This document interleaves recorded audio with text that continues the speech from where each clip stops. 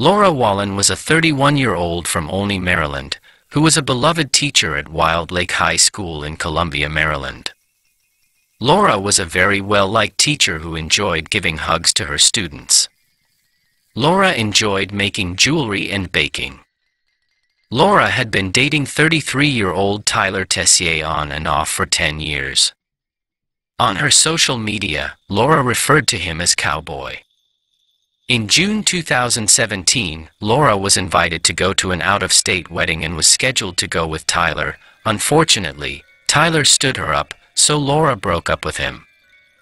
When she returned home from the wedding, Laura discovered that she was pregnant.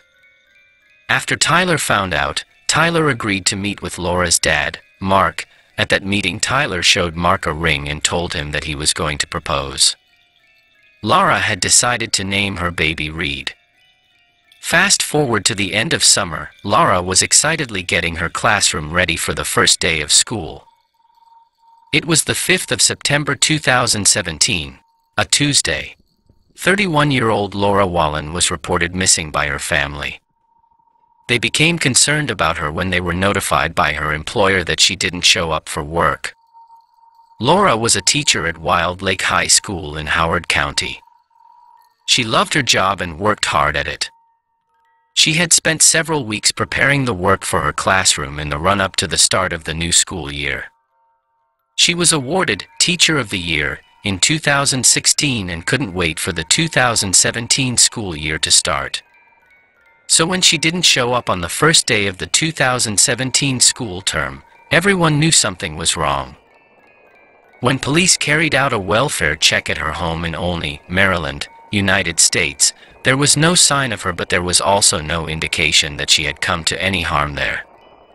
Nothing seemed out of place. There was even more reason to be concerned about her disappearance though. Laura was four months pregnant. Police reached out to her boyfriend, Tyler Tessier, and he told them he didn't know where Laura was. A search began. Police found Laura's 2011 black Ford Escape parked in a gated apartment complex in Columbia. The complex was across from the high school where she worked. Volunteers focused on the area around Howard and Montgomery counties and handed out flyers and put up missing posters. Tyler and Laura's parents took part in a televised news conference so that they could appeal for information and offer a reward. Did anyone see Laura? Tyler spoke at the news conference and told reporters that he knew Laura for around 10 years. He appealed directly to Laura. Laura, if you are listening, it doesn't matter what's happened. It doesn't matter what type of trouble, there's nothing we can't fix together. There are so many people, so many people that miss you, so many people who were out, who haven't slept. We haven't eaten. We are just looking or praying that you are safe. While Tyler pleaded with the public for information about Laura's whereabouts, the police and Laura's family believe they already knew who was responsible for her disappearance, and they believed that individual to be Tyler. Tyler was suspected of being involved in Laura's disappearance by police due to inconsistencies in some of the information he provided, and their decision to allow him to speak at the news conference was calculated. At that point, Laura was a missing person, and the police had no idea what happened to her or where she was. But after further questioning, Tyler told police that Laura had approached him and asked for his help. He told police that Laura wanted to disappear. He claimed she told him that the father of her baby was a student of hers and she was embarrassed and worried and needed help before anyone found out about it. Two days after the news conference, on the 13th of September, Laura was no longer a missing person. Police searched the perimeter of a wooded area in Damascus. They were made aware that Tyler visited there and was known to have taken several trips there as of late. They found what appeared to be freshly dug ground in a secluded part of a field there. With the assistance of cadaver dogs, they found Laura's body buried in a shallow grave. The autopsy revealed she had been shot once in the back of the head. Now, police had to figure out when she died, who killed her, and why. Police believed that Tyler was the last person to see Laura alive, and with the inconsistencies of accounts he provided of his movements, he was deemed a person of interest. Police knew that Laura was alive on the 1st of September as her family saw her that day. The next day, the 2nd of September, Laura went on a trip with Tyler. The police discovered that Laura sent a text message to her sister on the 2nd of September and told her that Tyler was taking her on an adventure somewhere, but she didn't know where. The text message read, Tyler has me on an adventure in the country. Not sure why, but it's for something. Waiting in a field. On Laura's debit card was for a purchase made at a Safeway grocery store near her home in Olney on the 2nd of September between 8.30 p.m. and 9.30 p.m. Police obtained surveillance footage from the grocery store and discovered that when Laura made the purchase, she wasn't alone. Tyler was with her. Police discovered that Tyler was also in a relationship with another woman, and that may have been the motive they were looking for. Laura and Tyler had been involved in an on and off relationship for 10 years, but every time they broke up, they got back together again. Their relationship was rocky, but Laura was looking forward to having her baby. Despite the account that Tyler gave to police stating that Laura was pregnant with a student's baby, the baby was Tyler's baby. Laura didn't know anything about it, but while they were split apart one of those times, Tyler began dating another teacher and moved in with her in 2012. He remained with her even when he got back with Laura. Neither woman knew about the other woman. When Laura told her family that she was pregnant with Tyler's baby, her father, Mark Wallen, asked Tyler what his intentions were. He was aware of their rocky relationship and there were rumors that there was another woman. Tyler assured Mark that he would look after Laura. He showed Mark an engagement ring and said that he planned to propose to Laura. He told Mark that he had not seen the other woman in two years. Police later found out that the ring Tyler showed Mark was later used by Tyler to propose to the other woman, not Laura. The other woman said yes and their wedding was arranged for just one month after Laura was due to give birth to their baby. While both Laura and the other woman thought that he was dating them exclusively, it became clear, during the investigation, that Laura probably discovered what Tyler had been up to shortly before her death. She sent a text message to the other woman on the 28th of August asking her if she would meet up with her. It's important that some things are cleared up and I would imagine that if you were in my position, you'd want some answers as well. By no means is this an attempt at confrontation, just looking for an explanation, woman to woman. Police believe that within a couple of days of that text message, Tyler began planning Laura's murder. They believed he had convinced the woman that he was living with that Laura was crazy and stalking him. Due to that, when she received the text message from Laura, she told Tyler about it through text, and he replied with a text message that read, I could kill her. Tyler denied that he was in a relationship with anyone other than Laura to the police, but when confronted with the evidence, he admitted it. Police believe that Tyler took Laura to a remote location to kill her and silence her. She believed that she was going to that spot to look at the land that Tyler wanted to purchase. It was an area he was familiar with and it was a field close to a farm where he worked. When Laura texted her sister about the trip, her sister asked her to take a picture. She did and police matched that picture to the location where her body was found later. Tyler brought her to that location twice, once on the 2nd of September and once the next day. Police believe that Tyler shot Laura on the 3rd of September. He texted a friend that same day and asked for a ride to Baltimore late at night, but the friend declined.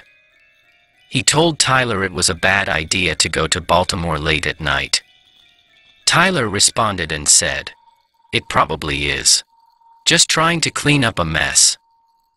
Police believe that after he shot Laura dead, Tyler then started hiding evidence and trying to cast doubt as to who the father of Laura's baby was through text messages to her family members.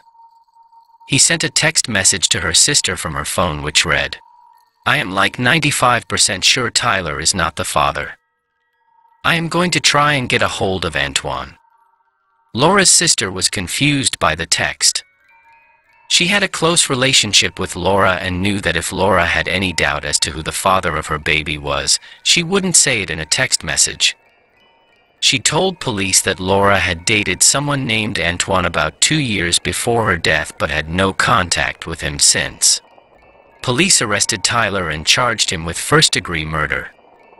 He was also charged with obstruction of justice, tampering with evidence, and making false statements. He only received one murder charge due to Maryland law. When police questioned Tyler, he denied being involved or having any knowledge as to what happened to Laura. But then he provided many different accounts of what happened to Laura. He claimed that during an argument on the 4th of September, Laura was deeply upset and crying hysterically. Laura lunged at him with scissors and in the process, she ran into a post on the porch which caused her to collapse on the ground. Tyler thought she was dead so he brought her to the field and buried her. Police asked him if that was the case then why did the autopsy show she had been shot. He told police that he was worried he might have buried her alive, so he went back and fired one round at her, to make sure she was dead, because he didn't want her to suffer. Tyler later changed his story. Tyler told police that African American men entered Laura's home and kidnapped the two of them. The men forced them to drive to Damascus and Laura was shot there. When asked why he wasn't shot, Tyler said that he pleaded with the men to let him go. The prosecution thought they had a solid case and that there was no doubt that Tyler was responsible for Laura's death. It was their case that after successfully living a double life for several years, Tyler was aware that it was about to end. Laura had found out about everything. After Laura texts the other woman, Tyler planned Laura's murder. He was due to spend the weekend of the 2nd of September with the other woman in Pennsylvania. He was supposed to go with her to look at bridesmaids' dresses. Instead, he told her that he couldn't go on a four-hour drive because he hurt his knee while walking her dog. But there was nothing wrong with his knee. He just had other plans. He arranged to meet Laura and take her on an adventure to a remote field in Damascus in Montgomery County. The prosecution stated that the murder was planned out in advance and that was evident from the location where Laura was killed and buried. They wanted to bring the jury to the location where Laura's body was found.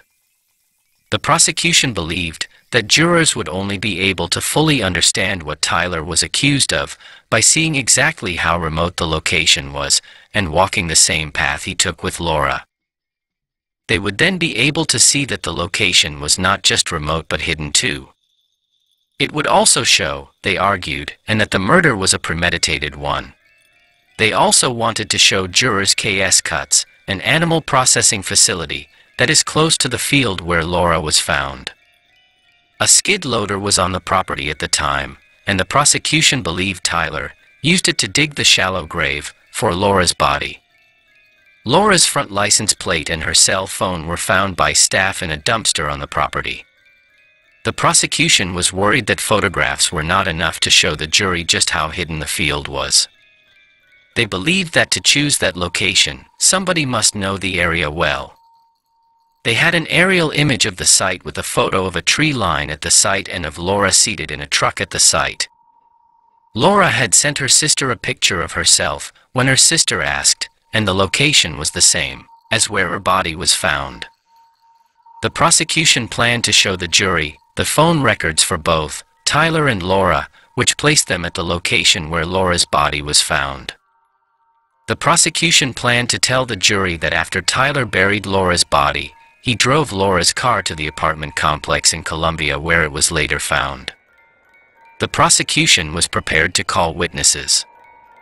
It was believed that Tyler asked a friend to lie to the police if they ever asked him about picking him up from that apartment complex. Prosecutors were seeking a sentence of life in prison without the possibility of parole if Tyler was convicted. But the prosecution would never get the chance to prove their case before a jury. On the 6th of September 2018 at 5 a.m., just hours before the trial was to start, Tyler's body was found in his cell. He took his own life by a noose inside his jail cell at the Montgomery County Correctional Facility in Rockville, Maryland. He left behind five letters on the top of his bunk bed. Bruce Goldfarb, of Maryland's Office of the Chief Medical Examiner, said, The cause of death was hanging, and he had taken his own life. The toxicology showed no drugs or alcohol in his system.